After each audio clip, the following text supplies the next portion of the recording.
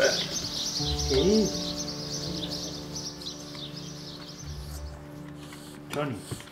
La Virgen y mi abuelo.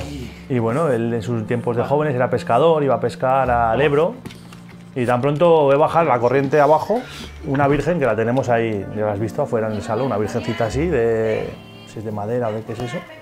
Mirándole la Virgen, uh, a mi abuelo que la vio dice, ¿esto qué, esto qué es? ¿No? Es un milagro, ¿qué pasa aquí? Y la cogió, la llegó a coger, ¡fum! la cogió. Y nada, la echó a la barca, la trajo al pueblo, y la ha tenido siempre con él, la Virgen, se hizo fotos, las llevaba siempre las fotos en el pecho, en el corazón, hasta el día que se murió. Y mi padre la guarda ahí como oro en paño y yo la guardaré si un día llega, porque claro. Pero sí, igual son tonterías, pero a mí lo que me ha demostrado es que algo hay.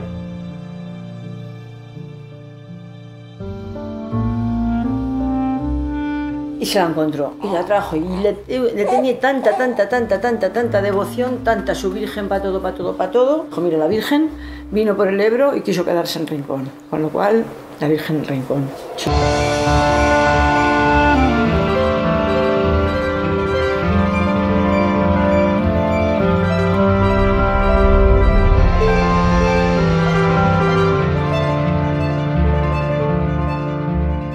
He dejado de pedirle esas cosas. Que mis hijos se quieran, que sean felices.